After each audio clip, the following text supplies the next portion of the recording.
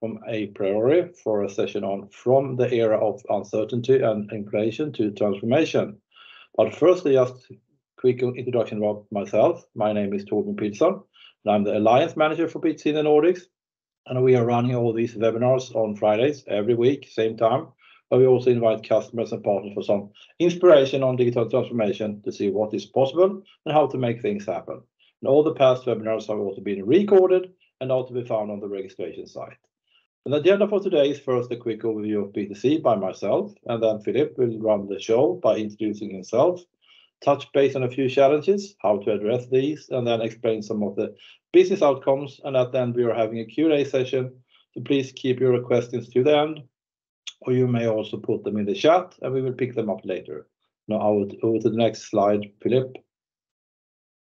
PTC is a global software company with a headquarters in Boston, and we provide market-leading solutions on IoT, augmented reality, PLM, SLM, ALM, and CAD through the digital thread to help companies to accelerate their digital transformation. Now over to you, Philippe. Thank you very much, Torbjörn. Uh, good morning, uh, probably beginning afternoon for uh, for some of you. My name is Philippe Adam. I'm the Chief Marketing Officer at aPriori.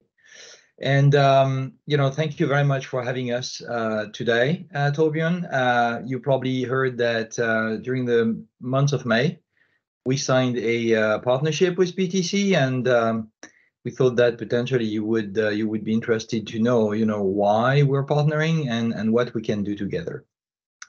So before we jump into the topic, maybe a few words about Uh, aPriori. aPriori is a software solution provider. We're uh, based in uh, Concord, so um, Massachusetts, not too far from where PTC is in Boston. So so it's really near Boston. And why do we exist? It's really to help and support manufacturers to what we call unlock and identify new opportunities to rapidly grow. So you know that innovation is is always, you know, a uh, a major topic for manufacturers. And so uh, how can they grow? What type of uh, new design they can do and and and those kind of things, helping them to grow, helping them also to uh, be more profitable, how they can optimize their product cost. And and now also helping them to address this rising topic and more and more complex topic called sustainability. And we'll come to we'll come to that in a minute. Uh, a lot of uh, manufacturers did already invest in technologies, as you all know, and um, we're just complementing those uh, those technologies. Digital thread, for example, has has been a massive investment for company. We continue to be, but you know, we add and we accelerate the deployment of digital transformation, digital thread strategies to help company to become more agile and also minimize their risk. So our topic is really around, you know, what what we help company to achieve is really uh, three things. Uh, we help them to be more profitable by, you know, looking at, you know, the product uh, cost and and carbon footprint. We also help them to optimize the manufacturability of those products, which, you know, reduce the time to market, can also reduce the weight of the product. And of course, sustainability, as I said. You can see a few of our customers on the right side of the slide. Caterpillar is one, Danfoss. Uh, we can name also a few in uh, the Nordic region, like Vestas. Uh, Alstom, a French company, is also a customer, and, you know, many more like Toyota, Boeing, or even Carrier. So you may say, why, you know, why do we exist and what do we try really to to do with, you know, with our customers? Well, you know, when when we work with a customer, usually the customer is facing a few a few specific challenges, right? And uh, and what we see is that all those challenges coming at the same time.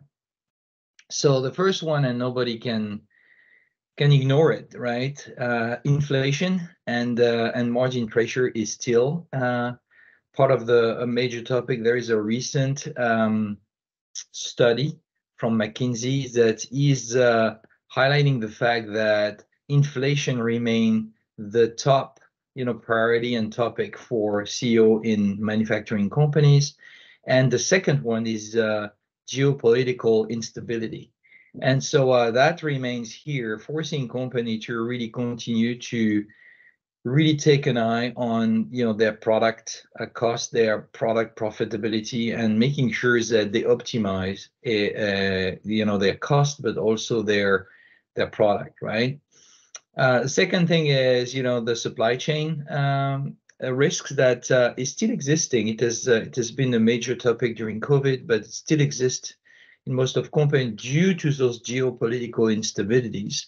And so uh, when we talk about you know supply chain risk is making sure that when a, when a customer are receive orders they are able to manufacture all the different parts they need in order to deliver the product and really generate cash at the end and satisfy the customer the third one that is also uh, existing for quite some time now it's you know it's around closing the the labor and skills gap we all know that a lot of uh, employees uh, working for manufacturing companies uh, will retire or decided to quit. And it's very difficult today for companies to recruit, manufacturing companies to recruit uh, new skills.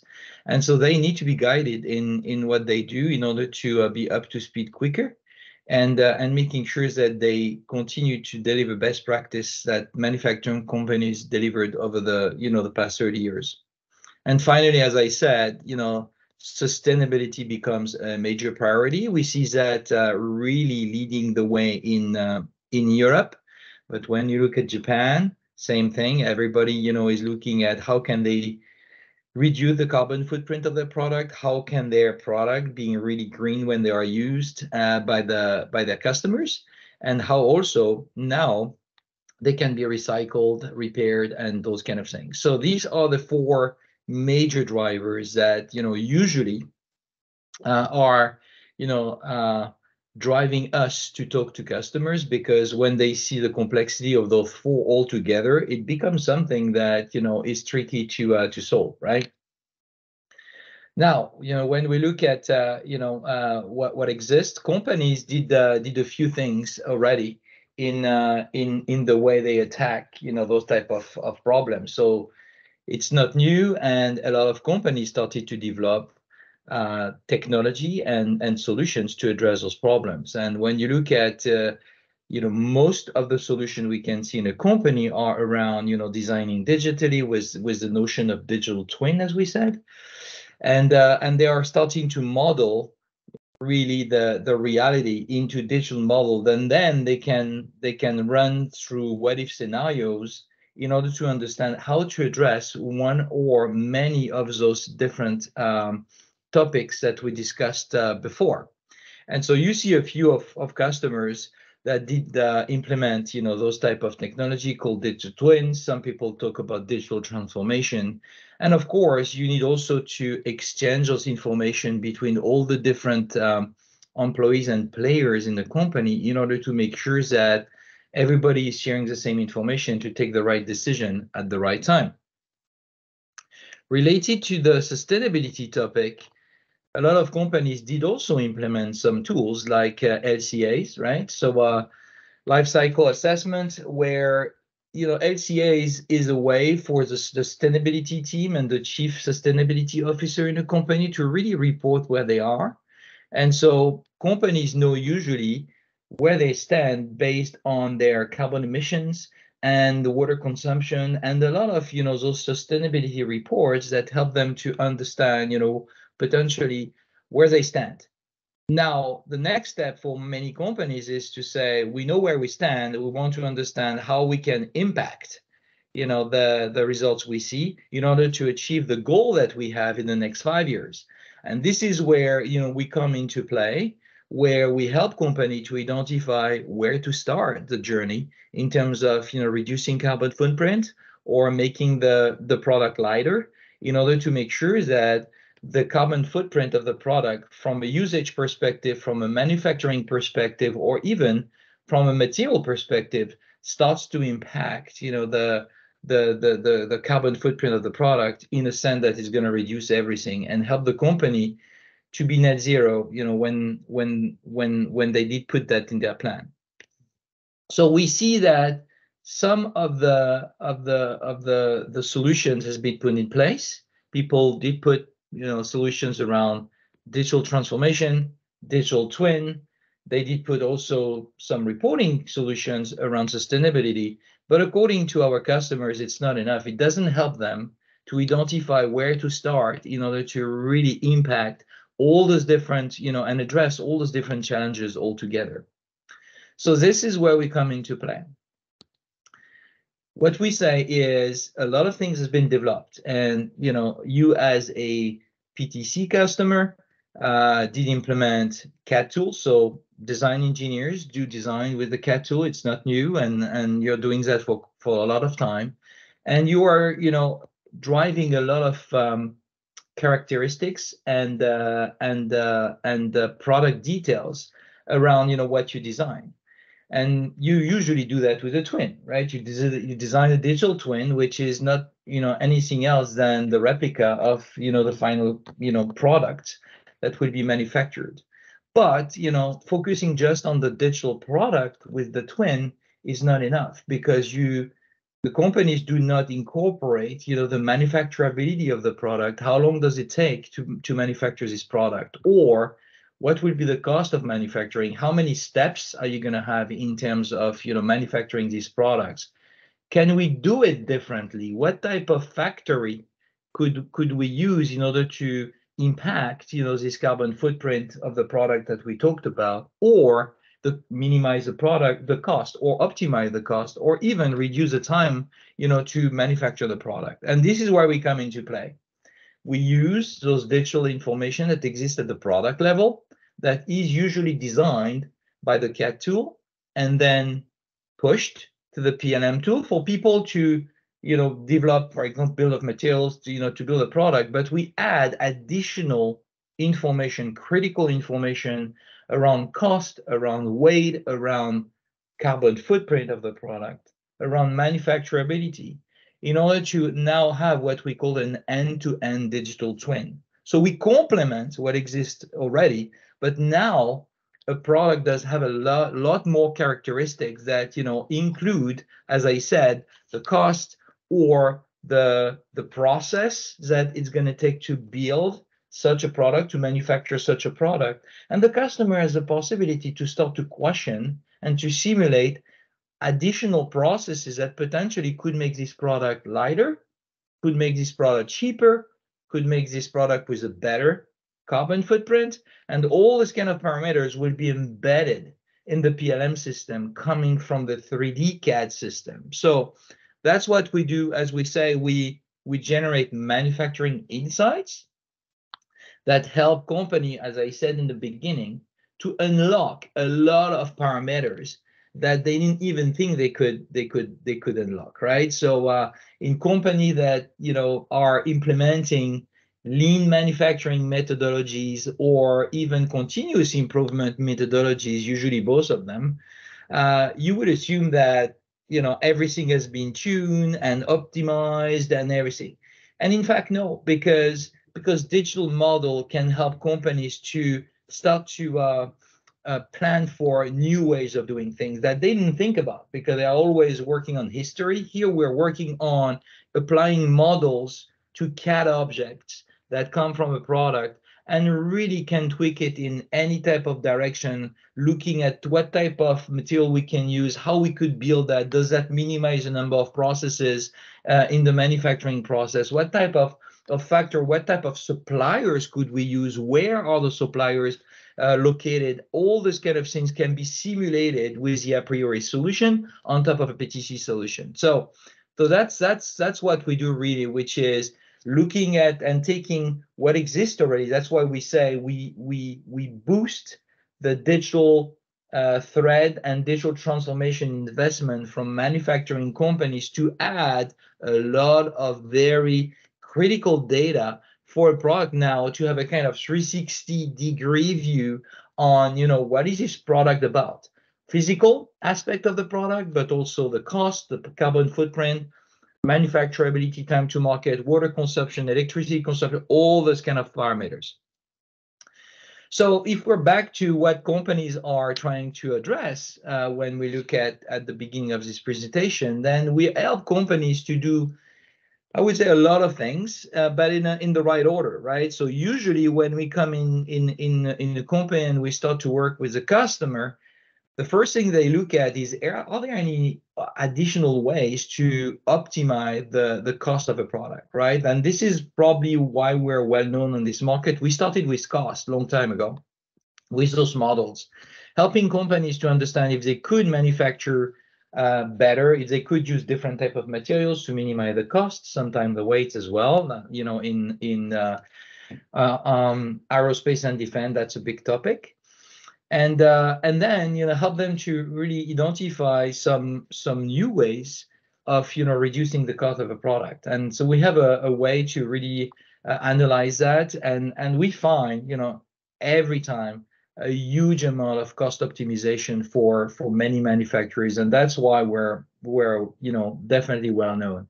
So it helps company to be more competitive in a very competitive market and and making sure that they continue to have the right cost for the right customers. Now as soon as we do that we all know that you know 80% potentially of a cost or any parameter of a product is really you know defined at the early stage of the design of the product right? And so this is where we play a big a big role as well we work with the sourcing team in a company. We work with the procurement team in the company on this cost breakdown and cost you know optimization where we help sourcing team to source or manufacture the product in the right country based on their new um, regulations or their new rules right?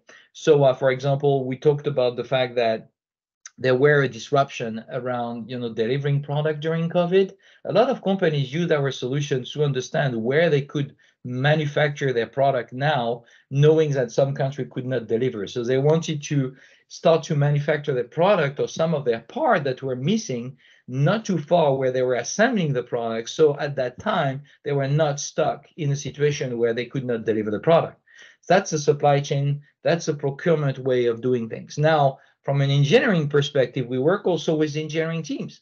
And we are, you know, real time helping them to understand if the design they are, you know, starting to propose is really uh, well aligned with a cost target or a carbon footprint target or even a manufacturability target and we don't do we don't go as detailed as we would do it with the procurement and sourcing team but we help them to understand if they are good or bad right? And so should they reconsider to use a different type of materials to dip a, a different type of design not too far from where they are but that would significantly optimize right their uh, their their the, the the cost or the the carbon footprint and even the manufacturability of the product. Based on that we help them to you know, interactively look at their design through a kind of loop.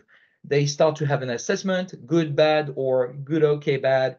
And then based on that, we help them to identify where they can make a big impact on their design. And as such, they can, you know, we tweak that in the CAD, send that back to the model, look at different type of processes they could use, pro- material they could use, and see at the end how they can really significantly impact, you know, this in terms of uh, cost or uh, uh, carbon footprint. Manufacturing feasibility is a big thing as well we do.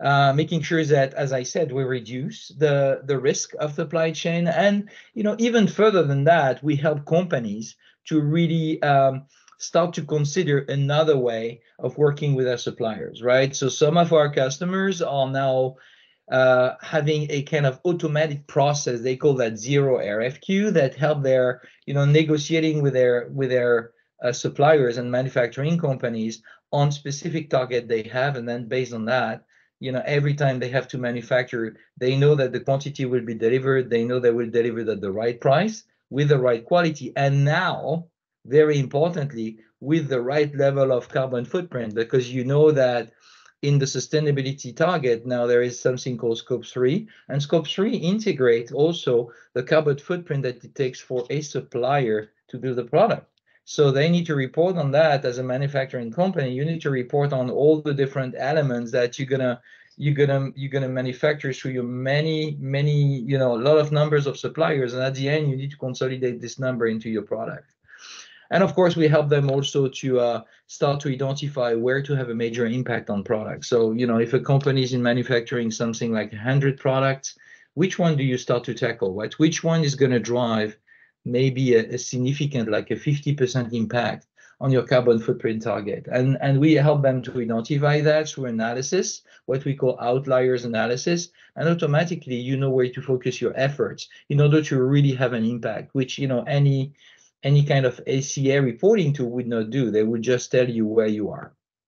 So when you look at that, that's you know that's how you know we came to a, a partnership with Aprior. We said, look, you know, and uh, with a PTC, sorry, and we said, look, you know, it's uh, it's interesting to uh, to see what PTC does because you know they have a very you know well-known 3D CAD design tool that helps you know many designers to to design the best product you know in the world.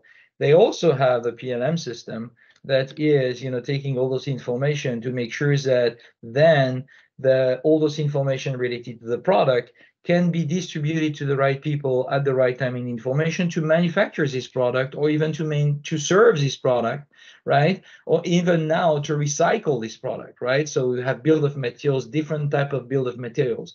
However as we said those information were not complete we're missing you know some critical elements that can help to uh, manufacturing companies to align the different function together the cost of the product was not in, the carbon footprint of the product was not in, the manufacturability or the weight of the product sometimes is not in. Now, working with, with PTC, we take this 3D design from Creo, we look at it, we analyze it, we complement it with all those different information around cost, sustainability, manufacturability, and many others. We have, you know, thousands of, of, of criteria that we can add to the PLM system and then everybody can benefit in the company of those information and and can work with it so now if everybody's using the same what we call digital thread with ptc which is the way to share this information across all the different departments involved in in the manufacturing process from designing it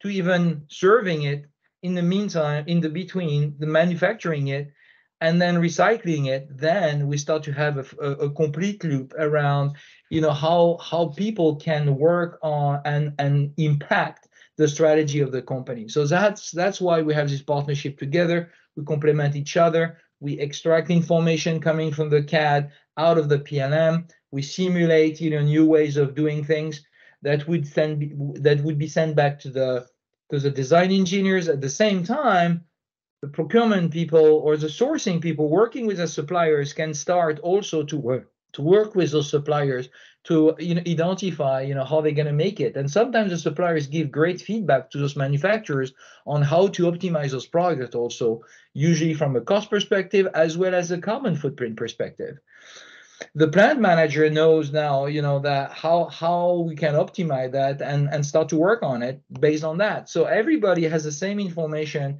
and the full set of information to make a better job and and help this company they're working for to be more profitable on one side but also more sustainability more sustainable on the other side. So i think that's it for me. Maybe i've been a little bit too long. I don't know torbjörn but um, i'm going to stop here because i'm I would like to make sure that if there is any question, I, I, I have the time to answer those questions. Well, thanks a lot, Philippe, for sharing all your interesting insights about I mean how to utilize the digital twin and digital thread. So, as you said, I mean now over to you in the audience. If you have any questions, please I mean raise your hand, or put your questions in the chat, and we will pick them up there. I think we had one question here earlier. And that was a little bit regarding, I mean, your title, I mean, for the session. You mentioned, I mean, transformation. Could you tell us a little bit more about transformation, the part here? Yeah, that that's a great question, uh, Torbjörn. Um, most of the manufacturing companies, as I said, over the last 30 years, did put a lot of methodology, and there is nothing to do with technology here. It's really methodology, deep dive methodology coming from Six Sigma or you know any any other manufacturing uh, methodology like lean manufacturing, continuous improvement. That it helps to what I would call optimize, right? So you always try to reduce cost uh, in your organization at every level. You try to reduce, um, you know, or optimize your processes. But today we come to a, a, an end of this this type of process. You cannot optimize continuously And it's probably right now, based on the complexity of what we see between inflation, geopolitical, you know, aspect and and disruption, um, carbon, you know, the sustainability target that many companies do have, plus this labor shortage that they see, it becomes so complex that optimization will not be enough to move to the next step. And so that's what we call business transformation, moving from business optimization to business transformation that helps company not only to continue to be better at what they do, they continue to optimize, but they need to transform to optimize. And in order to transform to optimize, the only way to do it today is to use to use new ways of doing things in order to go to that step. And this new way of doing things is to leverage all this digital era that we see and we're in between you know modeling factory models, uh, 3D models, and also digital factory and you know labor uh, models, all those kind of things that we bring together to help them transform and continue their business, continue to exist in a world that you know it's different, it, it's difficult, uh, you know, to tackle based on the, the multiple challenges. So I, I don't know if it answers the question, but that's the way we see transformation. Mm-hmm. Thanks a lot, Philippe. Uh, we had another question here as well, and that relates a little bit, I mean, to, uh, I mean, each industry, they are facing different set of sustainability challenges. And what are the biggest sort of, I mean, sustainability challenges for the manufacturers? The uh, that that's a that's an excellent question as well. So the um, there are you know a lot of challenges and they're raising as we go. Um, so um, you know the the first one is that you know, a lot of com- a lot of countries will have and and continue to develop their own reporting uh, regulation right? So you're going to need to comply with specific criteria that may be different from one country to another. There are a set of rules in the european commission and so uh, you need to comply with that. But some countries do have also specific rules on top of those one that company need to respect. So it means that you're going to need to comply with with a lot of uh, factors uh, in sustainability that you know will will need you to really understand and uh, and have the trustability of what you do, and that's what we provide between aPriori and PTC. aPriori has a lot of way to help you to to trace, you know, what the decision you take you know, that you you know, report on that and justify your reporting. So the compliance and the regulation continue to grow. On the regulation side, there is a um, a, a, new uh, a, a, new way also of, uh, of of of doing things, and you know I know that the European Commission, for example, um, did put a new rule, and I think it's in place now since October. It's called CBAM. It's Carbon uh, Border Adjustment uh, Mechanism. And uh, what it does is that companies will need also to uh, start to uh, report the carbon you know uh, impact on the material they import in the country and if they import product they will need to report that to report on that and if those products do not was those parts that you know are assembled uh, to make the product do not uh, respect a specific carbon threshold, then they're going to tax those those products or those parts that will be imported in the country. That's another thing that those tax things will come into play into October 26, which is you know in three years from now. But now the reporting is something that is mandatory now for the for the company so the european commissions can can you know look at that. So cbam you know carbon uh, border um, adjustment mechanism is a big thing. And you know if you go to our blog or if you go to our website you will find a lot of articles on that and how you can you know as a manufacturing company uh, start to uh, to work on that the third component that we see in this is the, the consumer by itself. Um, we see a, a, a, very, a, change, a major change in, in behavior around those customers where the youngest generation, right, is looking at greener product. And so, uh, you know, they are ready to pay a little bit more, not, you know, sometimes uh, a significant amount, but a, a little bit more to have a greener product, a product that can be repaired, a product that can be uh, recycled, a product that has a, a carbon footprint, you know, a, a lower uh, carbon footprint than, than another one. And this consumer behavior starts to be perceived by the manufacturing companies as a as a competitive differentiator, if you wish. You start to be competitive if you are a greener product, and we see that raising significantly in Europe, but also in North America and Japan. And last but not least, we start to have companies starts to have financial impacts because we see more and more customers talking about bounds that are linked to carbon footprint emission as well. So they are, you know, having money. They they try to contract money from banking or specific organization that you know would have a specific interest rate based on their carbon you know target. And if they do not respect that this carbon target, then the rate will go up. It's completely defined, you know, in uh, before they contract this loan and and and take the money.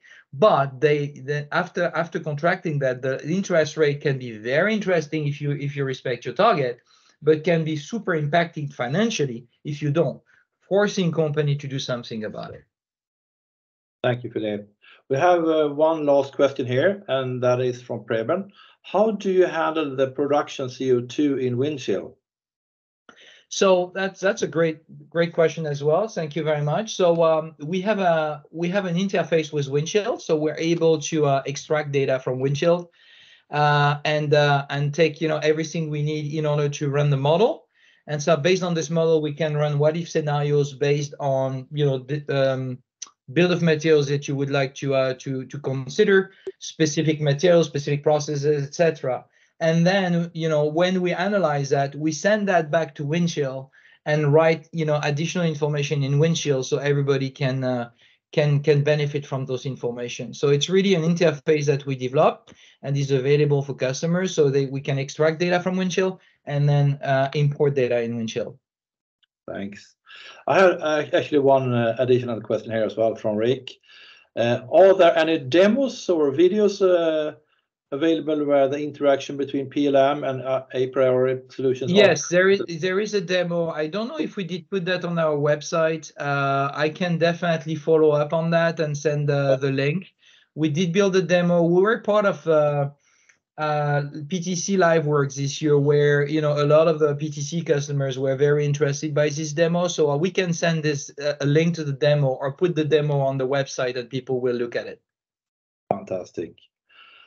Time is unfortunately running out. Uh, so thanks a lot, uh, everyone, for joining. And of course, a special thanks to you, Philip, for sharing a lot of, I mean, interesting information here. So with that, I hope to see you back already next week at the PTC Talks, where we have a session around can digital twins and augmented reality unlock financial benefits in facilities uh, by the Visionaries 777. So stay tuned for that and I wish you a fantastic weekend, everyone. Thank you very much. And I did put my details. So if everybody has any questions or want to know more about what we do with PTC together, you can send me an email at padam at apriori.com and I will make sure that uh, I, I answer this question or will put you in contact with uh, with some of our experts that would be way better than me in terms of you know ask uh, answering your question. But thank you very much for your for your time today. Fantastic. Thank you, everyone. Bye bye. Bye bye.